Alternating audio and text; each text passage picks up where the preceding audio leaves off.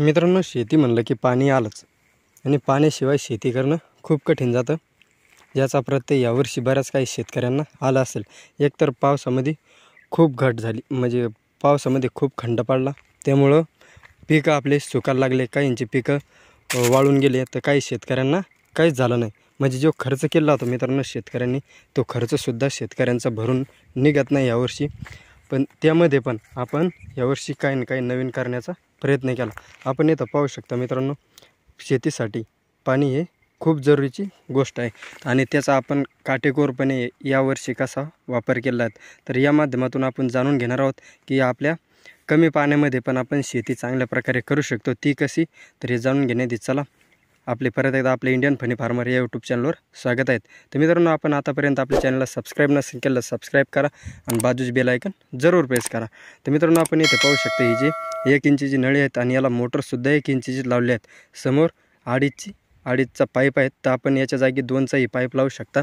आणि मी पुढं फेप्सीची ठिबकची लॅटर आथरलेली आहेत. म्हणजे ठिबकची नळी टाकलेली आहेत फेप्सी तर आपण येथे पाहू शकतात या सात नळ्या चालतात. तर मित्रांनो याची लांबी इथून तर समोर जे जात्या समोर तर अडीचशे फुटापर्यंत याची लांबी आहेत. म्हणजे एका एका वेळेस आपण या सहा ते सात नळ्या अडीचशे फुटाच्या एक एच पी मोटरवर चालू शकतो. आणि एक दिवस पाणी भरल्यानंतर आम्ही हे बंद करतो मित्रांनो. पूर्ण सोळा नळ्याला असं केलं आहेत आम्ही. तर हे बंद केलं का पुढच्या ह्या साईडच्या सोळा सहा ते सात नळ्या आम्ही चालू करतो. म्हणजे दोन दिवसामध्ये आमचं पूर्ण अर्धा ते पाऊन एकर कपाशीला पाणी देणं होतं आणि ते बी कमी पाण्यामध्ये. तर मित्रांनो असे बरेच काही शेतकऱ्यांचे प्रश्न असतात की आमच्याकडे इतकंच पाणी आहेत तर कपाशीला कसं सोडावं किंवा इतर पिकाला कसं सोडावं?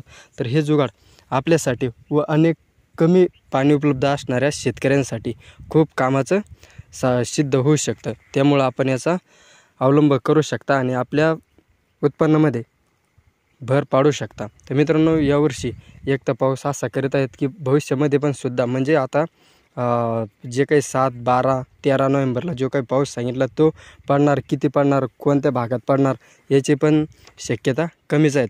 तर त्यामुळे मित्रांनो आपल्याला जे काही पाणी असेल त्याचा असा काटेकोरपणे वापर करा किंवा आपण मोकळं पाणी पाट पाण्याने सोडत असाल तर त्याने खूप जास्त पाणी लागतं आणि आपल्याला उन्हाळ्यामध्ये पाण्याची टंचाई भासू शकते. त्यामुळे असं काही न करता आपण याचा वापर करा. याला खर्चसुद्धा कमी येतो.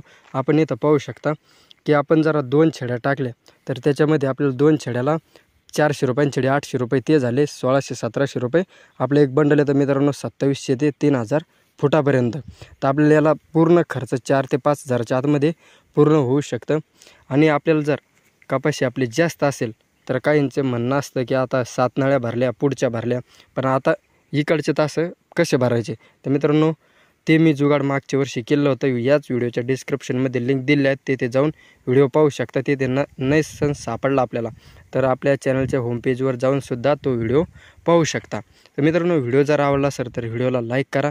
चॅनल सबस्क्राईब करा. आणि हो इतर शेतकरी मित्रांना शेअर करा करण्यास विसरू नका. जेणेकरून या व्हिडिओमुळे बाकी शेतकऱ्यांचा फायदा होईल. आणि मित्रांनो आपण पुढच्या व्हिडिओमध्ये जाणून घेणार आहोत की आपली कपाशी सध्या या स्टेजमध्ये आहेत. तर हिलाच पाणी द्यावं का? याच्यामध्ये काही मक्का किंवा ज्वारी टाकावीत. या व्हिडिओच्या संदर्भात सखोल अशी माहिती दिल्या जाईल. चला तर मित्रांनो व्हिडिओ शेवट पाहिल्यापर्यंत पाहिल्याबद्दल आपले सर्वांचे मनापासून खूप खूप आभार.